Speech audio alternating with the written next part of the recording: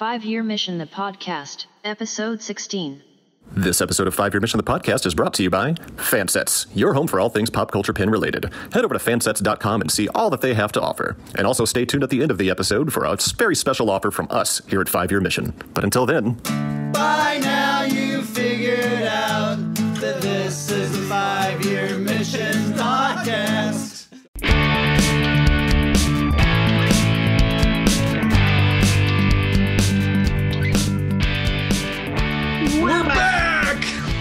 went well.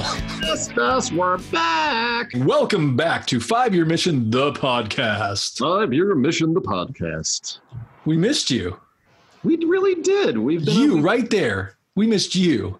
you, you specifically. You especially. But more importantly, welcome everyone. Um, we've been gone for a while. We know that. A little bit. We we uh, we did that consciously because there's a lot of things going on in the world today, especially in our immediate vicinity. I kind of felt like with everything that was going on, I didn't want to add to the noise. yeah. and I also didn't want to speak. I didn't want to be one of the people speaking unintelligently about important topics. You know what I mean? We're not the we're not the experts by any means, and so it was. It felt right to me to wait for a little bit to do. Yeah. To, to not just to do this, but also just to get back out there because there were other things that were more important to listen to. let things Five Year sink Mission. in, let things sink in, and also and also let black voices be heard. Yeah, Because what are what are like five white guys talking about Star Trek going to add to the to the to the initial conversation while it was at its at its peak? Well, in a broader sense, what are five white guys talking about Star Trek? What does that matter when these important things are happening that you should be listening to instead? I mean, yeah, it's it's like an escape to be able to talk about Star Trek and listen Yeah. to people talk about Star Trek, but in the end, It's not the time for that. there are more important things to listen to. I mean, no Yeah. slag to Trek Geeks and Rewind and Not at all. uh, all of our all of our affiliate podcasts on the Trek Geeks network of podcasts, but you know, Yes. Uh-oh. So so but we we are back um and and in coming back we didn't want we we wanted to we've been discussing having along with talking about Star Trek we've been discussing having some more episodes that were more socially conscious especially given the the atmosphere of today. So today's episode we are yes today's episode we have invited our good friend jim Moorhouse to discuss with us the d space nine episodes past tense part one and past tense part two. And we chose this this two-parter because this these episodes deal with um, basically oppression uh, taking people putting them off to the side and what happens when it When gets to that silent. boiling point yeah so it's very it's it's very much related to uh, what we've seen in our world in the in the last few months and so we thought it was a good way to talk about that but also have have the in star trek tie-in Yeah. yeah which I mean, that's the that's the great thing about Star Trek is that no matter which series you go to, there's always going to be you can tie it in. Like not every episode, but you can always tie it into things that are happening currently. yes. and that's that, that that's one of the things uh, with upcoming episodes we are going to focus on not every single episode but we're going to start start you know once we start you know putting p- puzzle pieces together you know we can figure out which episodes what kind of guests we're going to have on to help us further further this discussion you know that's the great thing about trek is that it's it, it's always very relevant. Well not always but you know a lot of times it's very relevant. So we forgot to introduce ourselves. I'm chris. I'm andy. And we have our good friend jim Moorhouse with us today. And this is our next episode. Let's just do this right now. Go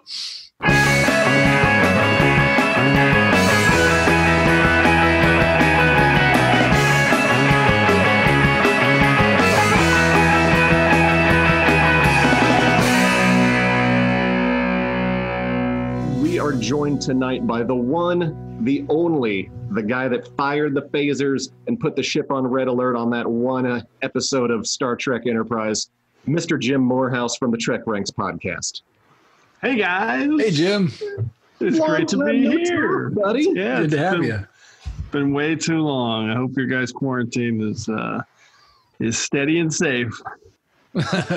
Absolutely. It's definitely steady, steadily bored out of my mind for the most part. Oh, I'm not bored, but I'm uh, I'm stable somehow. We're surviving it. It's good. I was made for this. Never leaving the house. I'm all for it. So what are we talking about? What are we talking about? What are we talking about tonight?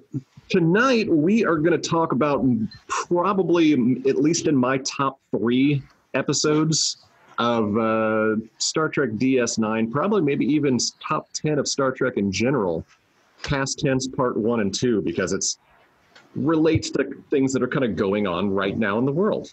Well, it's funny you should mention that because if you go to TrekRanks.com, DS9 ranks, it is the number one ranked episode on my uh, Trek Ranks rankings. Kind of I love it. would I love it. It's it's uh, it's brilliant, and like you said, it's so prescient. Yeah, it is. A, it, it's it's one of those episodes where it's my it's one of my favorites, but it's one of those ones where I can't watch it a bunch of times just because it's so deep and dark and just gets my gets my hankles up. Your Is that what the hackles. term is hackles. Is that it? Hackles. Yeah, your hackles. Well, I call my dog hankles as a, as a you know, I hadn't actually seen this in a long time. This episode, um, I, I've only seen the entire series one time, DS9. oh Yeah, I know, right? catch up, Chris. But uh, I went, you know, going back to watch this episode was really interesting, especially given the atmosphere that we live in today, which we'll get to. Yeah, But let's let's start by just looking at the episode. Um, Jim, why don't you just kind of give us your overall impression, not necessarily a synopsis, but just kind of what you think of the episode and and what are the the key points you think the episodes? Well- I guess it's two part. Yeah, so everybody knows it's a two-parter. It's uh, it's very distracted by Fark's hair right now. Very distracting. Um, and this is the episode where the Enterprise is going back to Earth. They get thrown back into time, but it's one of these. It's one of the only Star Trek episodes where they uh, uh, go back in time, but it's in a. It's back in time, but it's not a time that we've seen, so it's still our future. Which at the time it was recorded was like Yeah. was like you know thirty years uh, before uh, before I think it came out like ninety five. yeah. So they go back to 2024.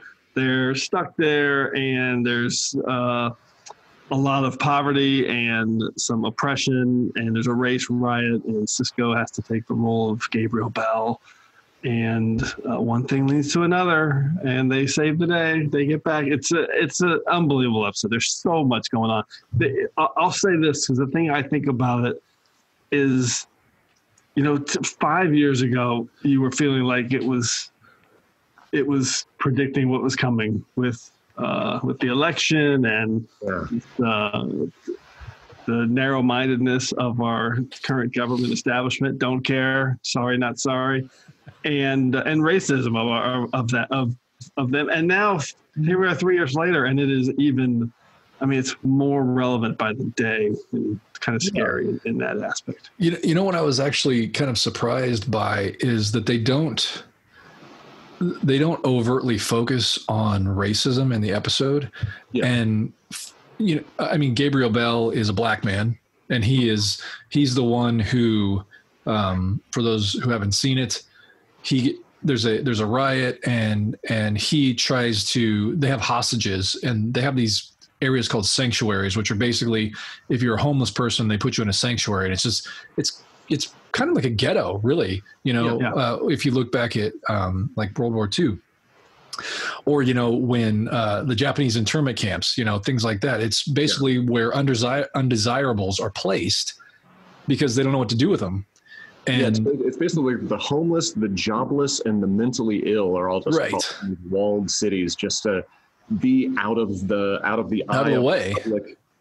And so, Uh, uh, uh, under the under the auspices of hey we're putting you there to help you because now Yeah. we're gonna we're gonna offer you services and We're gonna get you a job. find jobs and things but they just they put you there and forget about you and of course one of the famous stories of the production is that the these guys were, were working on the script um, Ira Steven Behr and uh, Robert Hewitt Wolfe who wrote it they and they literally saw a headline in like the LA Times that was saying the if some council or the police or somebody were going to relocate people to a certain block Yeah, areas of LA I remember to that. kind of just contain the problem.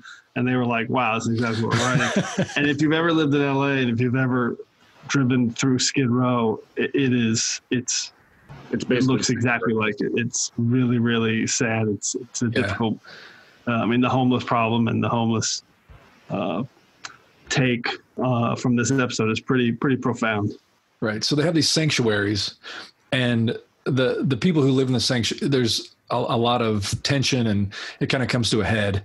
And they have there are people that work inside the sanctuary in order to kind of keep order. Well, they get a lot of several of them take, get taken as hostages, and Gabriel Bell is trying to get is trying to keep them safe essentially, and he gets killed, and that instigates a, a, a an awakening of sorts for people. And and Sisko and and Bashir kind of walk into this not knowing exactly they Sisko has a being the history buff that he is conveniently has this um a vague recollection of what's going on and and but you know they don't they have both white people and black people in in this sanctuary but it is uh, you know it's notable that where bashir and Sisko are put in this ghetto uh, the sanctuary um, jadzia who gets separated from them and is also a white woman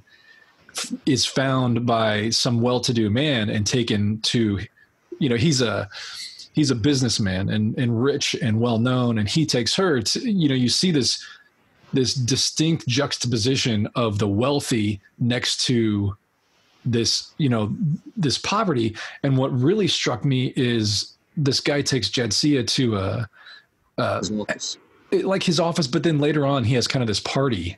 Yeah. and and they're t- you know they're talking and one of them says like sanctuaries oh they still have those like they don't even realize that Yeah, this is because they're happening they're so you know they just put the blinders on because they don't have to worry about it and that really illustrates the point of why they have the sanctuaries in the first place to get Mm-hmm. these people out of the way Yeah, it's a the, the, because you you guys brought, up like like race and everything like that. I said it, as much as I wanted it to kind of have that element. I mean, we definitely got that in like Far Beyond the Stars. Um, But this is more more along the lines of like a, like the classist system. Yeah. Like basically like the the Yeah. wealthy run run everything. The wealthy kind of get get what they want. The poor just kind of swept off to the side and um, forgotten, basically.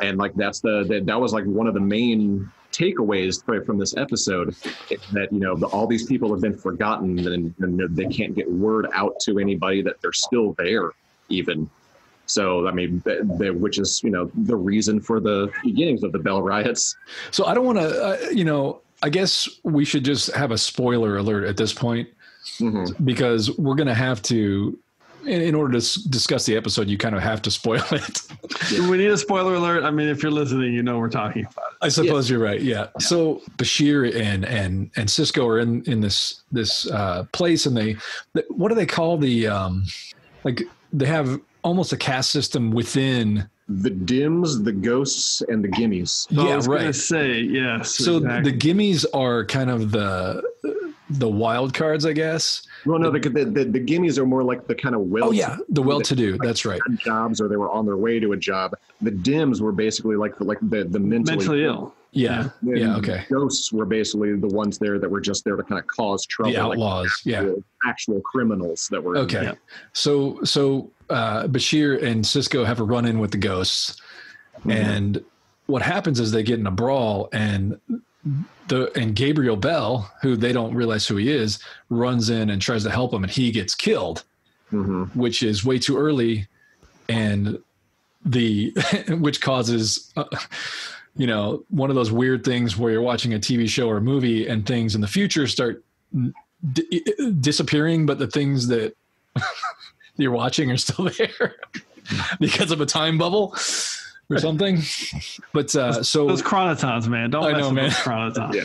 well, so Sisko has to take on the the the persona of Bell, Of which Bell, is yeah. interesting because Bell has to die in order to you know to make this, uh, you know, change in history. So Yeah, because because meanwhile, it, like like after like after Gabriel Bell is killed in the sanctuary district, uh, they they flash back up to the to, to the Defiant with Mhm. Kira and Odo and uh, O'Brien, O'Brien, and their ship has lost communications with Starfleet in general because they've messed up the timeline. So then Starfleet doesn't even exist.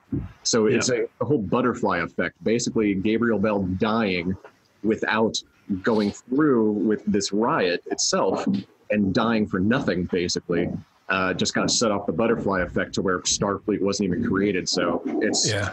it's in that whole little puzzle piece. Well, you know what I think. Um, you know, DS9 always does did this really well, and that is taking a character that, and usually characters would evolve over a season or or several seasons. And in this episode, you have characters like BC, who is the main ghost guy, Yeah. or Vic, who is one of the, I mean, really kind of the security guards inside the sanctuary Mhm. and they have two very distinct personalities at the very beginning of this episode.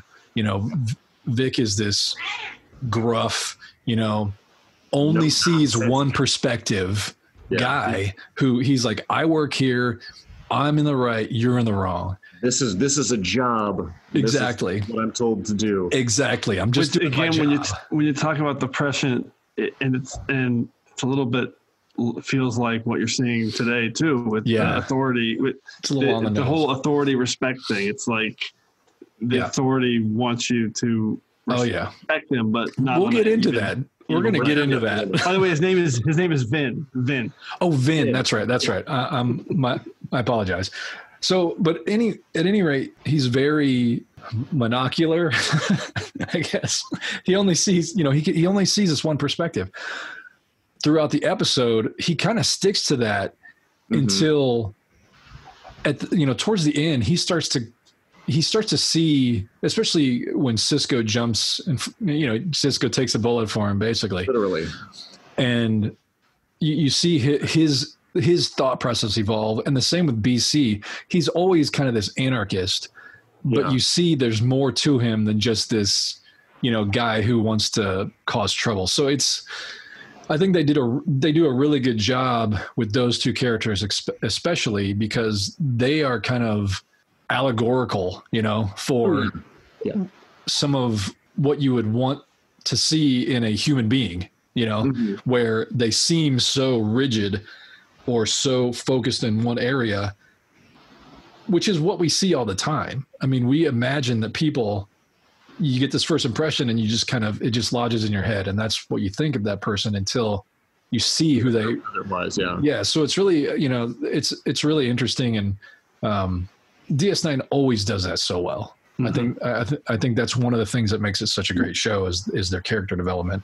But it's impressive that they do it in such a short amount of time for these characters that really makes you kind of see them differently Yeah, we. I mean, we kind of set up a, to summarize that you in this two hours, you literally they show you every piece of society. You Yeah. have the mentally ill. You Mhm. have the like the, the down on their luck guys who just want to find a job but but can't. Mhm. You have uh, the really kind of uh, single-minded cop who's not going to stop at anything. You've got a little bit of the understanding social worker who's just doing her job. You've Yeah. got the the the ghosts Oh, who are yeah. literally like when you watch these uh, the upheaval of the last few weeks. And again, where I you know, sorry, not sorry, not going to apologize for it. I understand it because Oh, yeah. if there's if there's if the stuff if windows are getting broken that's 10% there's always going to be 10% of assholes out there who are just going to break shit for no reason. Yep. but the, uh, but that's the price you have to pay. The other 90% are there for a reason. They need it needs to be heard. You need to hear this. That's what the ghosts are. It's amazing how it's all there and we're literally kind of living through it these last this last month. And then you have and of course you have the high society the chris Yeah. Brynner character. That who was- cares? He's woke. Chris Brynner was woke, by the way, Oh, but absolutely. he wasn't doing anything to really make a difference.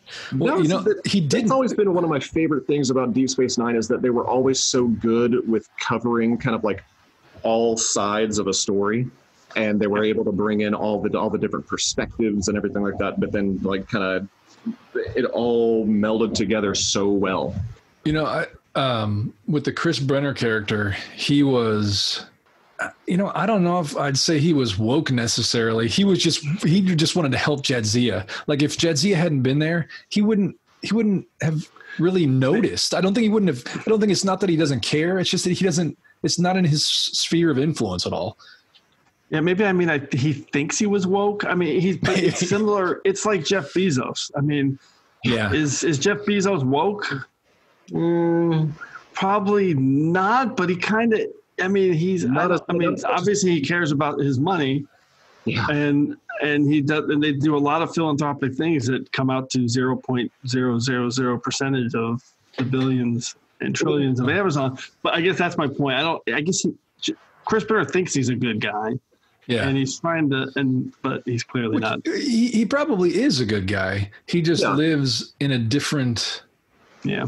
you know and and the fact I, I will say the fact that when he is shown he, he he's shown a little bit more what's going on and he has someone who's dire- directly affected by it mm-hmm. that he is more inclined to help because now it's it's in his face you know? Well, my the, the the the best thing about that character though is that he was kind of like a when when he was originally talking to Jadzia, he was talking asking about her her trill spots, and he was he was like, "Oh, where'd you get the tattoos? Japan?" And he was like, "Yeah, yeah, you know, back in day, you know, I had I had some tattoos. I had to get them removed because of the suits, you know." so basically he's like he, he's like he's like the guys that even i still know to this day it's like yeah you know i used to be punk rock but you know then i had to get a job and then it, it kind of takes kind of like almost like a younger generation that's still kind of like in like the struggle i guess to kind of like point it out it's like it's like hey man you used to be cool but there's still stuff going on that we need to fight against so here's what's happening do you want to get involved? And then that's basically when he was like, you know, I can't broadcast these people's messages ac- across my. It was, it was basically like a YouTube channel. yeah I, I don't know. It, it was like a te- television the, station. the network is they called it the net Yeah. So he was, Uh, he was like, chan- he- channel 90 net zero Yeah, net, net access interface by the way just just so we clarify every time i said woke i was using air quotes Okay, so- It's- yeah. yes we can see that but not everyone can None of the n- n- none of the people that that are out there calling people woke like it's an insult go around calling themselves woke. exactly Yeah. Yeah. exactly Well, you know, I think it's important important to note also that once Chris Brynner does his thing, Mhm. he's going to go back to doing the exact same thing he's always done. He's not going to go. He's not going to go advocate for anybody. He's not going to you know give a bunch of money to a charity or whatever. I don't see him doing that. Yeah, I don't know. Well, here's a question: Would if he, if it was Sisko or Bashir that he stumbled across on the stairwell, That's, does he invite yeah, him back to his apartment? I mean, probably his- not. Probably not. I mean, I guess that's fair.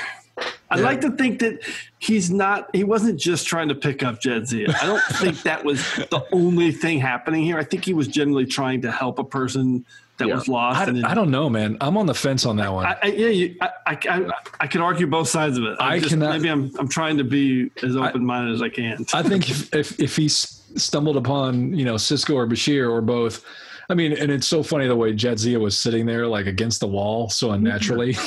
It's- and- and- but, but, but, but somehow right. Sisko and Bashir just woke up next to a like a weird glass like in the gutter. yeah. Well, and they, it, I, man, I'm sorry, but if he had come across those two, I think he would have stepped over him and kept going, or maybe at the least, maybe made sure that they were okay and sent them, like, come over That's- here, It's sanctuary probably a happy middle. Like know? he probably would have tried to at least look at him, but he's not inviting him up, taking him upstairs. Yeah, I, I think That's you're probably, probably right. Which, to be fair, that's probably what most people would do. You know. Mm-hmm. Well, actually, I'm sorry. Most people would just step over him. So I guess he's a step above that. I mean, I'm not. Yeah, we, I don't think any.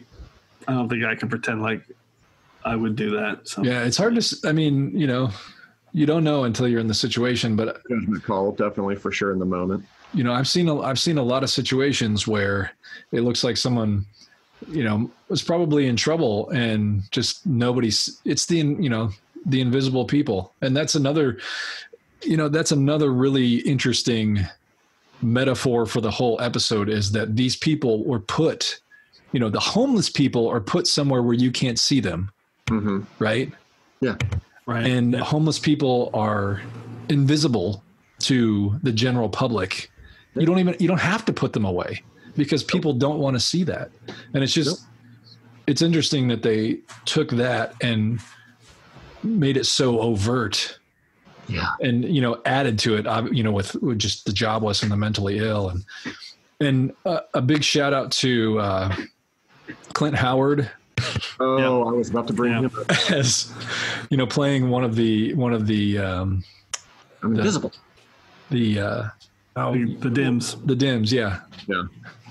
so he was yeah he's always great it's always fun to see him and One of his one of his many Star Trek appearances. And, it- yeah and again, the I, I think the portrayals here are all really they're, they're so real for the amount of screen time. yeah. I mean, he feels like you know not a not a uh, not a depressed or a, um, not suffering from depression, not kind of criminally angry or anything. He's just a he's just an unstable, mentally ill person who's yeah who can't kind of cope with reality. yeah And uh, and I think the way they portray him is is really good. It was it's tough to see them kind of not try to help him more, but obviously there's only so much you can do in two Yeah. hours. But Well, they, they, they even did that with the background characters really well too. Like you could see people just like sitting depressed on a step or Mhm. crying to themselves or yelling at a wall, and it's Well, just like, uh, well, there's your, there's your mental illness illness right there. Yeah, and I was gonna say, well, in, in terms of all background characters, not to change that topic, but like even the guys at the step that where they get their clothes from, they're they're Mhm. they're they feel super like they're not just being uh, I'm gonna say assholes, so beat me out. Yeah. They're not just being jerks, you know. They're just they're hey, this is our Yeah. building. We don't have space for you. Get out of here, man. We're not gonna fight you. We're not gonna beat you Yeah. up, but but take a hike. We don't have time for this. Go find another building until they come to some agreement. So again, every single character like that feels really deep and layered. Yeah, Yeah, it's really. it's like outside except for the the ghosts everybody it it it's a community within the community you know Right. which is really interesting that they almost they're almost i mean outside of just the um and i don't know what they call them but the security that's there Mhm. it's almost like they govern themselves you Oh, they do. Yeah. so it's it's Well, and we're, other, other than like the food ration cards. yeah Yeah, well, yeah. Well, and then they there's uh, Jim. You mentioned the woman who is she's like in processing. I guess I don't know. She Yeah. tries to help Sisko, oh, yeah. and, worker, yeah. and well, and I say help, but it's just kind of what she does in, in trying to help them get a job. Um, it, she's just processing them and saying, okay, well, you know, we'll. Sometimes it takes a few weeks. We don't know, whatever. That's a you know. She's just um, she's like that the cog in the you know in, in the machine she's just she does it's either she if she and really it's it's an interesting um uh it's complex because if she doesn't have that job Mhm. and doesn't find another job she will be in the same place where Yeah. the people are that she's processing so uh, it, i can and you know she um she has health issues what is she hypoglycemic Yeah. Yeah. and so you know she has that health issue what is she going to do if she's stuck in in this sanctuary Yeah. so it's you know i i really you really feel for that person because she's doing something that's legitimately not good you Mhm. know to these people but if she doesn't then what's going to happen to her which See, is really that- in- interesting that was actually one of one of my favorite things about her character was that I have met so many people like that in real life where they like went to school and they were going to be like I'm going to go out there and make a difference in the world and Yeah. and, and then they get a job and then there's so much red tape and so many different people to answer to and so many rules to follow and procedures and everything that they're just like I came here to make a difference I can't make a difference because I keep being held back by this up system that's in place. yeah Yeah, I mean, she's pretty representative of of a social worker that you know is hoping. I- I'm sure when you lay this thing out on paper, there were really good-minded people who thought, okay, this is going to help people. This is going to be a good thing. We're gonna we're gonna get a uh, a hold on this problem. And someone like that comes to thinking, okay, I can help, but you know, After you're doing that for six months, you just you're just processing numbers. So Well, because she tough. she told the one story about the uh, the woman that she processed who like uh, had like a warrant out for her arrest for for abandoning her kid, Yeah. and she was it was just because she was too poor and couldn't do it, and she just basically had to be like, I can't do this, and was just put into the system again. And she was like, I felt so bad for this woman because she obviously couldn't help herself, let alone a child, that I didn't even log her in and I just let her go in the sanctuary. And she was like, and I have no clue whatever happened to her because there's 10,000 people in here and she, she's going to get lost in the system, which again, another perfect allegory for like, you know, ev- people get lost in the system all the time. Well, and, and you know that that that's a good segue to the one other person that I wanted to talk about or mention, um, Michael. Uh, I don't remember his last name. Jim, help me out. The guy that uh, you mean oh Webb?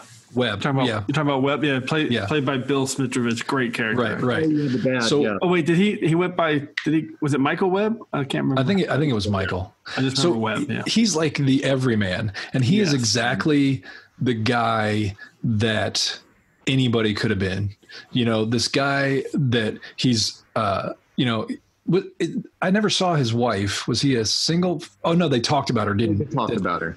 Yep. So He he's had a, he he's had a whole, married. his whole family was there. yeah, Yeah, he's married. He has kids. Two kids, And he's just- all saw the one kid. Yeah, I mean, he seems you know very like this very uh, you know white collar kind of guy, and so you know through a series of uh, uh, you know just by sheer bad luck, really, he ends up he doesn't have a job, so he ends up in the sanctuary, and all he wants to do is get get a job and get out and and do his thing and support his family, and he just can't, and that like that frustration for somebody like that or anybody in that situation is just palpable you know just knowing that you have value but you can't but someone's telling you you you, you can't use it you know Yeah.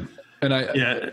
It, it, it- I mean, because they literally say he was like some kind of like he was a technical worker or something. Yeah. got He's- laid off at some big company and he's not cr- up here. He's not a criminal. He's just a guy trying Yeah. to trying to obey the rules. Yeah. trying to do what they're telling him to do. And I mean, you're right. This is I love this conversation because we're kind of breaking out every single Every single character little that, that yeah. they've that they did so well with, and he's kind of he kind of sums it all up.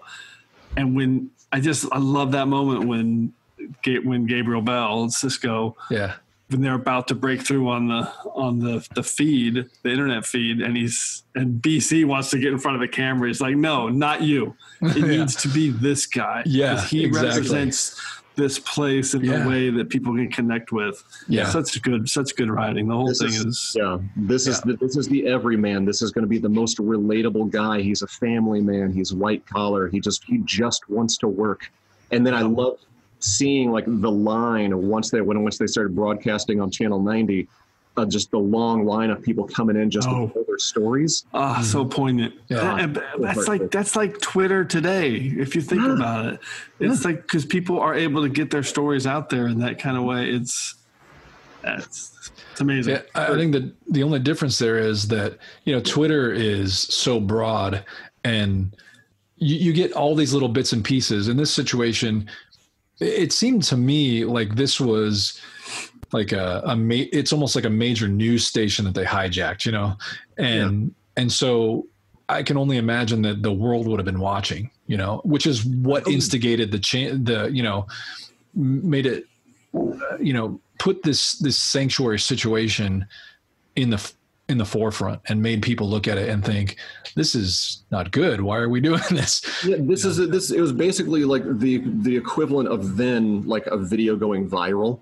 yeah and, and and everyone's just like, "Have you seen this?" And it's like, "Of course I've seen this. I'm watching right now." yeah which is amazing when you think about it because this was what 95 Yeah, ninety five. Exactly. and all even even the technology that the technology that they were talking about was in its infancy at the time i mean you know i think the even the internet was not It was huge in 95 you It know was, it was, it was all still But dial there up. certainly wasn't you know yeah it was dial up and there certainly wasn't any kind of social media. I mean, I don't even know if they I had have my 40 hours billboards.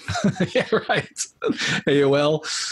So I mean, I, it's it's really interesting that they, uh, the, you know, they were doing this for the future, and it everything is like so.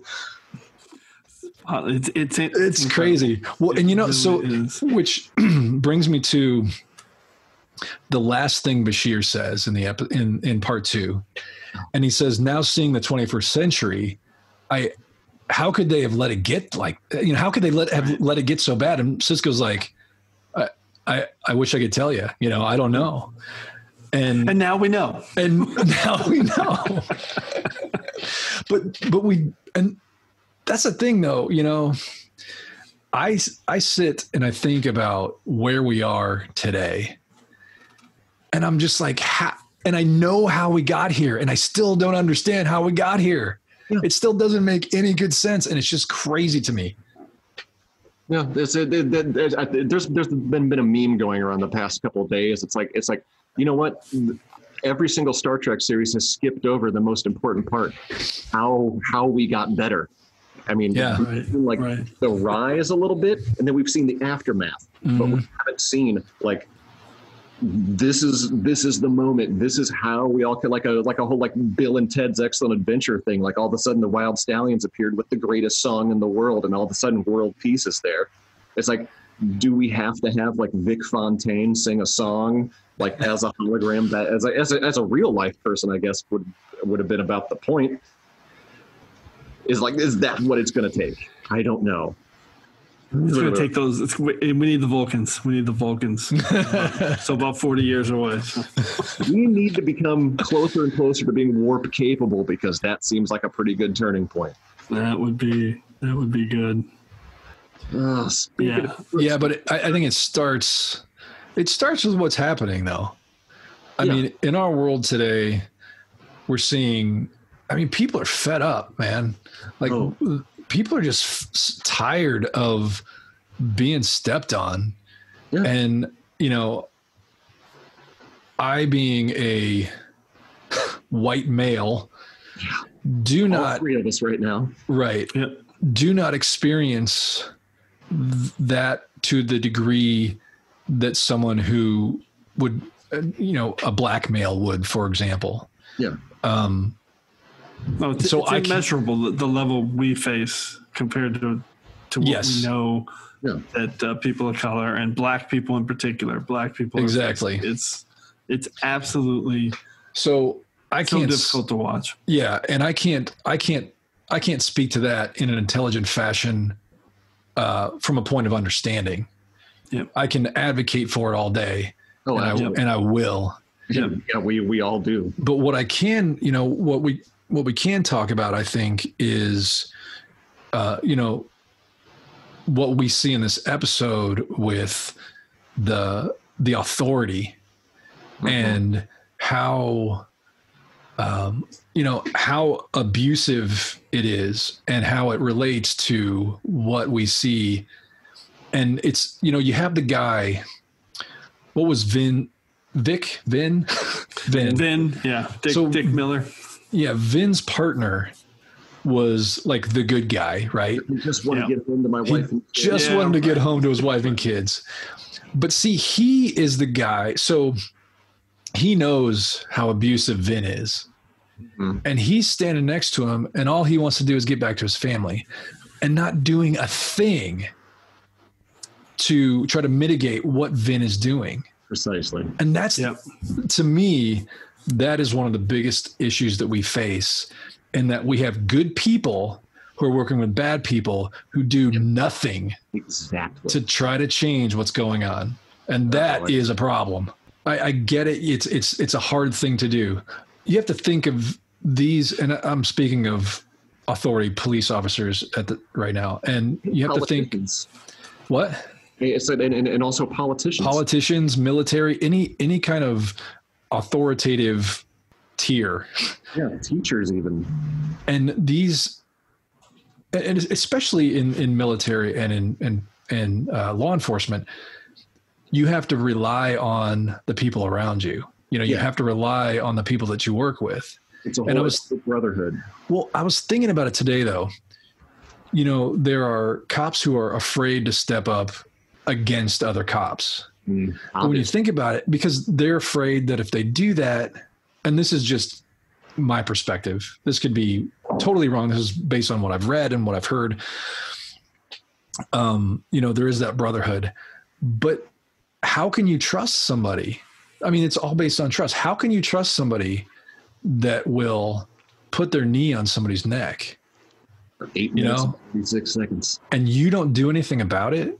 You know, how can you trust that person? You can tell yourself all day that this is because, you know, I we're it's a brotherhood and I trust this person. Well, do you trust this person who's doing these horrible things and you can't do anything about it? That I have a problem with that, you know? huge problem and and you were you said sometimes it's tough in the moment if you're working with people and you maybe you don't see it and i i, I can get that to a certain level it, I, I can't imagine Yeah. myself in, in that situation but the thing that really pisses me off is okay so how about three days later when you have the full context and you're watching the video how about a couple of cops step up and call it out for what it is Yeah. because there's no we're not fucking around here it's Yeah. pretty obvious what's happening Yeah. and it's not just that one. There are literally hundreds of these. Oh, Well, and the- there's- and there's hundreds and probably. I mean, literally thousands. Yeah. Oh, it's, it's so infuriating that they, that there's uh, that there's this brotherhood. It, I just, it's just alpha male bro protecting.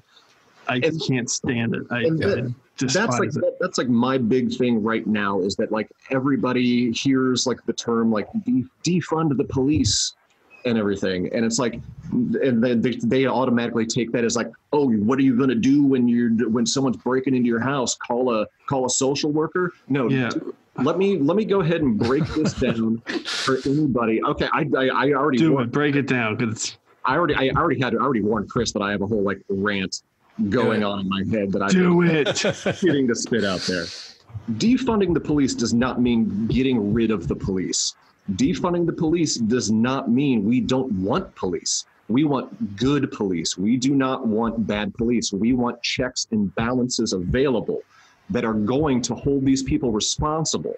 When we say defund the police, we mean not giving them a gigantic budget to work with to where they can buy SWAT vehicles that only the military should be owning and having to protect in giant cases in case somebody does wind up attacking our country.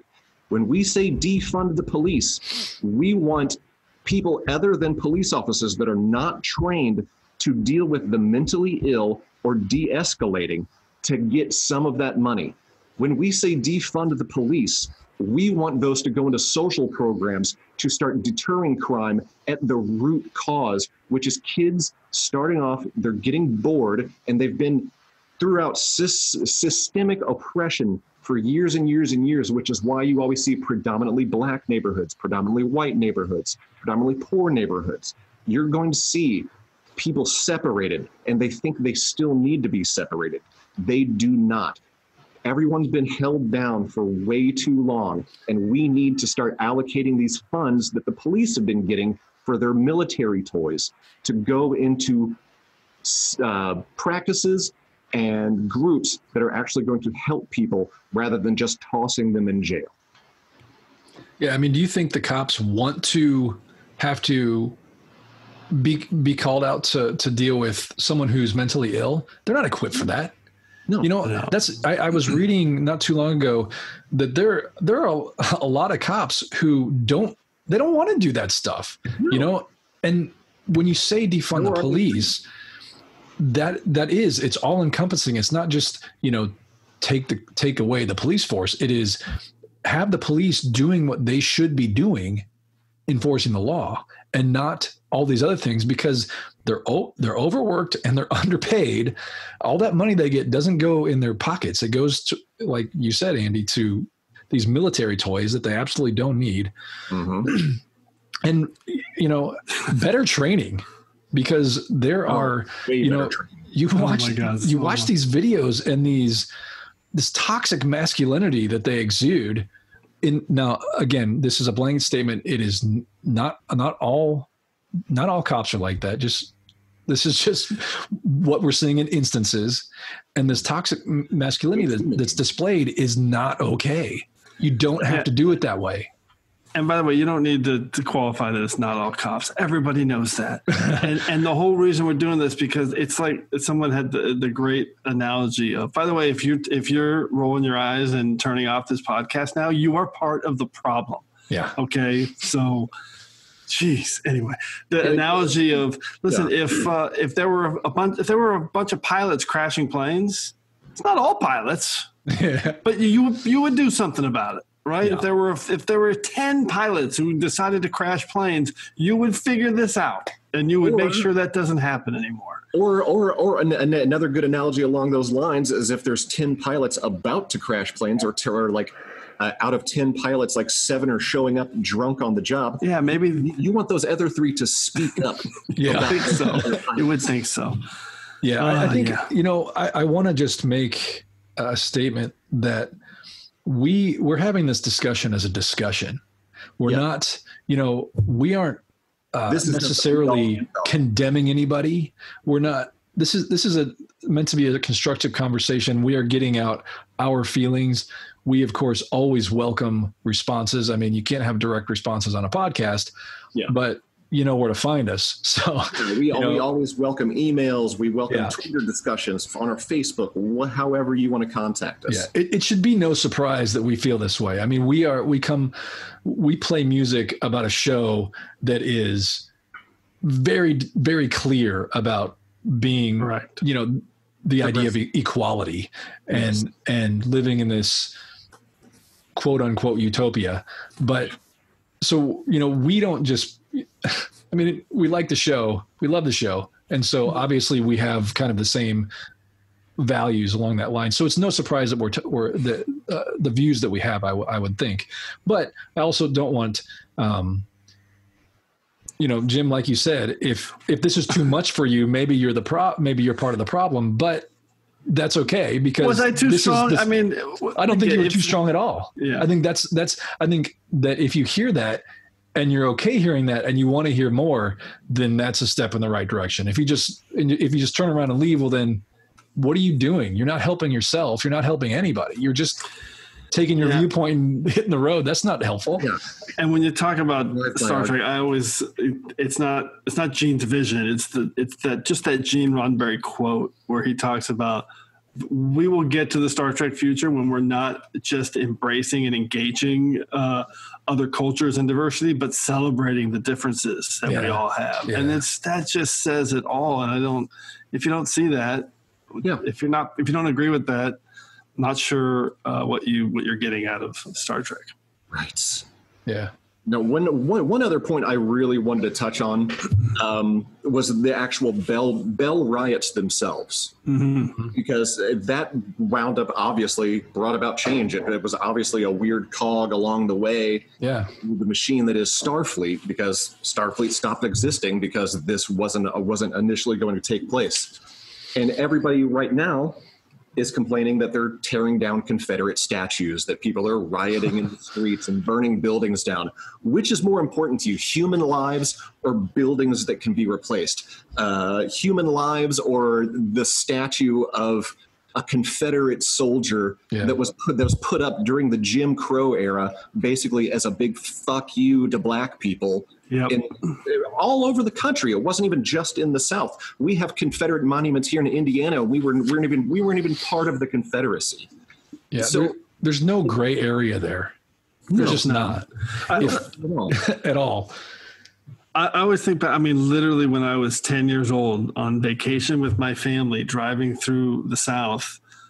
Ten years old in the late seventies, and I am. I was. I did not grow up on a hippie commune. Okay, my parents are very religious, and and I would see Jefferson Davis Highway. I'm like, you know, hey, wasn't he a traitor? Why does? Why are they celebrating him if he was fighting against I, I couldn't process it, and of course, you know, then years later you realize, oh, it's because the people who wanted are Yeah. doing it. It's the big fu that Yeah. just said. Newsflash, guys: the Confederacy is not American history. No. Confederacy right. tried to secede from the Exactly. Union. Exactly. They have no business in American history. Now, in the history books, yes, but in, as uh, elevated to you know memorials and statues, no. Wrong. So and the- you like- can take your Confederate flag and which incidentally isn't even the Confederate flag. It's like a it's like a variation on the flag that Lee used. And it's like Oh, right. it's not even the Confederate flag and all these dum dums run around. You know, it's just like you, it it really it's frustrating. But, Clearly. but I like I to to get back to the show and that concept. I like that that point you made, Fark. That it's kind of like what it's it's interesting to think about why this moment and how it turned things around Mhm. and obviously started and now listen there was still going to be another 30 years of crap because we see that with Zefram Cochrane and in Star Trek 1st Contact and the uh, and the Third World War but I like that it starts pointing at least the U.S. Uh, in the right direction, and versus the contrast of it. Like if you if you if this doesn't happen and you just keep going the way you're going, then mm-hmm. clearly there's no chance for for that future. Well, that's like that's like the, the greatest thing about these protests. And yeah, you know, not everybody's going to agree with rioting, but sometimes rioting is the it's well, it's the rioting is is the is is the voice of the unheard. That's Yeah. basically it. And there's there's Yeah. numerous occasions in history where rioting and protesting made a huge difference that people a lot of people sometimes tend to forget, but you need to be reminded. March on Washington, 1963, 250,000 people marched on Washington. It's the site of the famous Martin Luther King I Have I Had a Dream speech. This was brought about because of the lunch counter sit ins, Selma, uh, the, the Selma protests, uh, police brutality when they were peacefully protesting in the streets, dogs sicked on them. This led to the Civil Act, Civil Rights Act of 1964, and then finally the Voting Rights Act of 65. Uh, the Boston Tea Party, come on, that was a straight up riot. Property was destroyed. Oh no, what's gonna what's worse? You know, uh, the storming of the Bastille in 1789 in France. There was a French prison that was that, that Louis XVI was running, and he was a symbol of the, the like the dictatorship. And finally, the French got sick of it, overthrew him. And then, of course, you know, the Arab Spring, just in 2010, so many dictators wound up getting ousted just because of one dude setting himself on fire because his fruit stand was shut down by the government. And then, of course, Wow. we're in June right now. What is June? June is Pride Month. Does anybody remember why we're celebrating Pride? Why it's in June? Because of the Stonewall riots. Yep. Police and police went in, raided a, like a gay nightclub, and started beating the living shit out of a bunch of trans and gay people. And then the, basically they they had they had enough. They fought back. Rioting and protesting makes a difference. I can't advocate for rioting. However, when you have when you are disenfranchised and no one listens to you, no matter what you do, it's it's it's a natural evolution. Mm-hmm. You know, you if if if someone's if you're trying to talk to somebody and they're not listening, you yell. And if they're not if they don't hear hear you when you yell, you smack them in the head. You know, it's not it's not a good thing, but sometimes It's it's it's what it's what happens. It's it's just evolves to that point. Yeah, and I it's I, I have a it's um I'm very back and forth on that because I don't think it it solves anything, but it does get attention. And I think sometimes that it I I mean I hate to say it, but sometimes I think it's necessary. I, I said it. I said it before. You will not get me to say one bad thing about the the the rioting and the and Yeah. the uh, and the destruction of property and that because I can't either. because it, it had to happen. And again, for I, I've I've said this I've said this for a long time, and again, it's kind of sad because in it, it so many times when this has happened, the the uh, the black communities themselves get uh, get damaged, and that's where and that's where the rioting's happening. And so when I when this was happening in Santa Monica at a mall, or when they took down that police precinct in Minneapolis, I'm sorry, that was, I, I, that was not a moment of like, oh man, that's too far for me. And I'm going to be real clear about that. And again, the, it, when you're talking about just people busting windows and just being assholes, there's always going to be ten percent of that. Yeah. Okay, and that, but that's the price that's being paid for the deaths of so many people at the hands of the police. It's Yeah. really simple. It's really simple. That, that's that, that's the other thing is that so many people have been like uh, well because i'm a sadist and i read the comments on news sites. Uh, so yeah exactly. So many people are always like oh all these uh, all these protesters out there rioting and everything. It's like it's like no no no no no. Let me let me go ahead and borrow one of one of your phrases when it in regards to the police where it's like oh not all cops. No not all protesters Exactly. there's obviously gonna gonna be a few that are just gonna be dickheads and break windows just for the sake of breaking a window or setting a trash can on fire. But a lot of times, you know, people are doing this for a reason because they're being tear gassed for no reason. I've had so many friends who go to protests here in here in Indianapolis, peacefully marching down the street, protesting, not disrupting traffic, not breaking windows or anything, getting get, get, getting tear gassed, getting get, getting rubber bullets shot at them. Well, and it's and like, what do you what do you expect them to do? Are they supposed to just not fight back? It's like, oh yeah, please let me just sit here and let my eyes burn and these welts in my body form without being pissed off at you. Well, and you notice once the initial conflagration subsides, and Mm-hmm. you know, with the rioting and the protests keep going, because the rioting is the initial reaction. That's Right. like the breaking point, and then after that, you're trying to get to a point where you can heal, and the, the best way to do that and to, to is to maintain that momentum and to Start keep you know to, to keep yeah start that discussion. Keep keep in the in in the eyes of the public and in a positive way continuing to protest like like is happening is is really the way to to make people hear you. And that's the only way to to to, to instigate change well and to vote so vote Oh, please God, vote yes. for Yeah. progressive government that actually wants to change things Yeah, I mean, pro- progressive, like no matter whether they're Democrat, Republican, or Independent, there are some progressive Republicans out there that will Yeah. act, who actually want to make a difference. You know so, what? By all I means, not vote straight ticket. Do some research. Find Yeah. out who is actually out there to help you. and that's a really good point because the the two party system is stupid. Oh God, yeah. and and there are people who grow up as republicans who stay republicans their whole life because they're republicans as as that's their label. And they aren't necess- they aren't necessarily and this goes for democrats too. And they and if you know your history democrats basically used to be the Repu- republicans of today. So it's not about it's not about the parties and and and the, the labels of Republican or Democrat. It's about the people who want to go in there and instigate change or at least do good. You know, they don't want to just maintain the status quo that's freaking horrible. They want to do good and and work with other people to make our society better. And if you vote for someone who doesn't want to do that, like Mitch Or- McConnell. Listen, I've been saying if, if if you're enabling uh, racist politicians and pundits and policies, you're a racist. End of story. Sorry, if you if you support Donald Trump, you're a racist. I know that people are really pissed right now hearing that. Sorry. Sorry. well, you know, and I You I can't know, support that and, and then pretend like that you're not. Here's the here, here's here's my one counter to that. I'm not sorry. and I don't want you to be.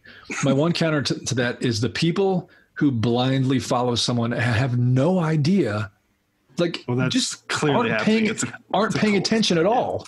You That- know, that's and- why the conversation's almost pointless at this because you can't Yeah. really communicate. It's blinders and cold and Well, it's it's not. I I don't think it's about not. In a lot of in a lot of instances, it's not about not being able to communicate with somebody because I do believe there are people out there who, if who confronted, would at least think. But the uncom- it's an uncomfortable conversation, especially within a family. Oh, You know, it's an uncomfortable conversation, and it's it's just a tough subject to broach. You know, especially My- when someone just doesn't they're comfortable and they don't want they just don't want to hear it and they're comfortable with whatever happens you know they'll complain at a dinner party but they're not going to be obsessed over it every day like i am you know I was going to just close with one. Uh, my one of my favorite moments from the episode is when, uh, and I think it kind of sums up where we are now as a society. Is when uh, Julian is talking to the administrative uh, woman when they're kind of huddled down and being held hostage, and he says to her that it's not it's not your fault that things are the way they are.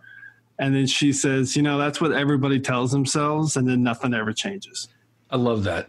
And it's such a, I mean, God, th- these guys who wrote this, and how appropriate is that for Yeah. us now? Yeah. Absolutely perfect. But Jim, that was a great closer for you.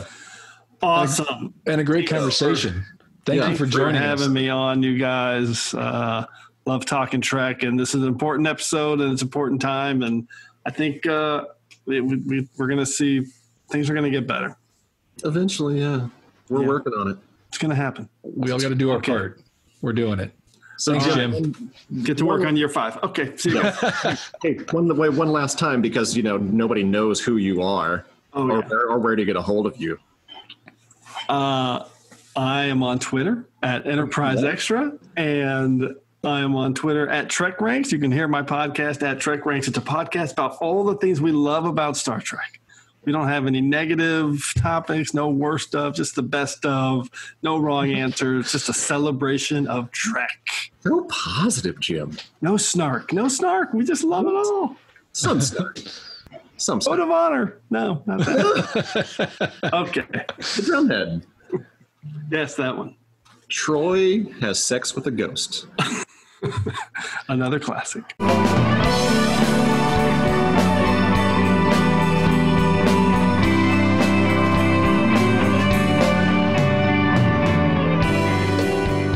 This week's episode of Five Year Mission the Podcast has been brought to you by Fansets. I know you're used to hearing Andy's voice here, but this week you have me.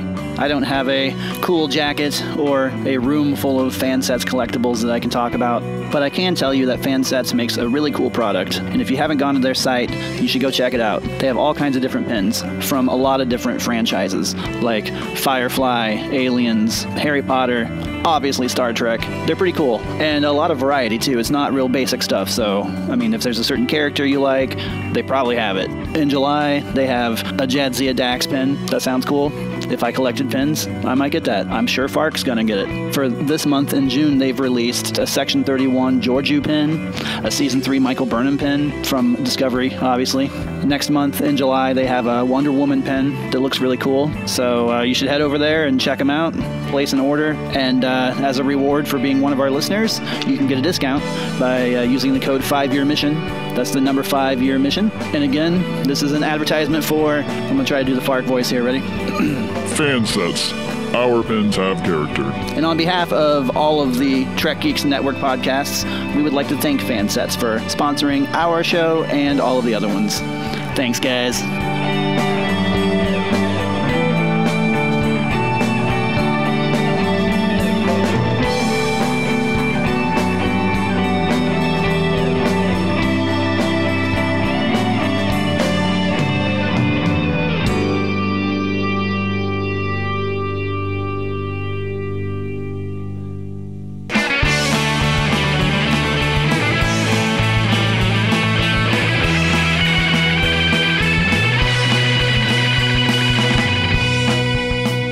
Have officially launched the Five Year Mission Patreon. On there, you can see posts with pictures and videos of behind the scenes shenanigans with the band and the podcast. There are different levels you can sign up for, where you'll get exclusive merch and videos and unreleased tracks and demos and other stuff from the band and the podcast that you wouldn't normally get if you didn't follow us on Patreon. The different tiers you get to choose from go from ensign all the way up to admiral, and one of the perks of being an admiral is that you get to be a producer on this podcast. This week's producers are Neil Carpenter, Debbie Rinke, Helen Lake, Carol Jones, Steve and Frankie Palopoli, Madison Rachel Jones, Becky and Roxy, and of course, Jim Moorhouse. So head over to the Five Year Mission Patreon right now and sign up as an Admiral, and your name could be listed at the end of the next episode of Five Year Mission, the podcast. Just go to patreon.com slash five year mission. That's the number five year mission. So that was our conversation with Jim Moorhouse, a good friend of ours.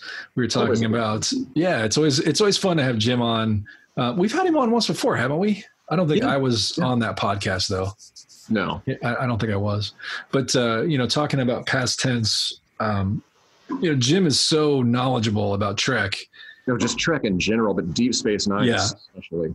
Yeah, so it's always fun to, to talk to him, not just because he's our friend, but just because he, knows what he's talking about, and he has really uh, he's got a lot of insight, but also for this particular episode hmm and you know the the plan we had for it and relating it to what's what's going on in our world. Um, Jim was perfect because uh, he's also very you know like like we are. He's he's rather political and and Mhm. outspoken and and isn't afraid to share his opinions. Yeah. So we're really glad to have had him on again. Absolutely, yeah. and We're gonna we're, we're gonna be doing more episodes like this in the in the near near future. most of what we've done thus far has been uh, you know it, it's just been pretty lighthearted and, and we've talked about a lot of stuff um, i think we got a little political when we had uh, um, John Billingsley. yeah john billingsley on Hey, John. which which was great. Um, you know we're, we're we just want to be a little more socially conscious i think for, just do kind of a not not forever but it's it's it's it's a good time to do that. And and so we'll have a few more of these. There are episodes we that we can do that can relate to social issues that we would like to do. So you know keep keep an eye on that uh, out for that we may not do them all all in a, a series necessarily but we will call them a series as we as we go through and, and do these we can't be all serious all the time No, because that's definitely not our personality. no we're five year mission Mostly serious, always personality. that's There's right. That's horrible. so that that uh, that's this this week's episode. Um, we'll be uh, back at you in a couple weeks, Yay! and uh, yay, yeah, we're we're back in the saddle or something. we'll cover that. Any uh, any final words, Fark? Live long and don't be a dick. That's that, I think that's a good that's a good sign off. A little, That's a a little, a little Spock Wheaton combo there. That's right. We'll see you next time.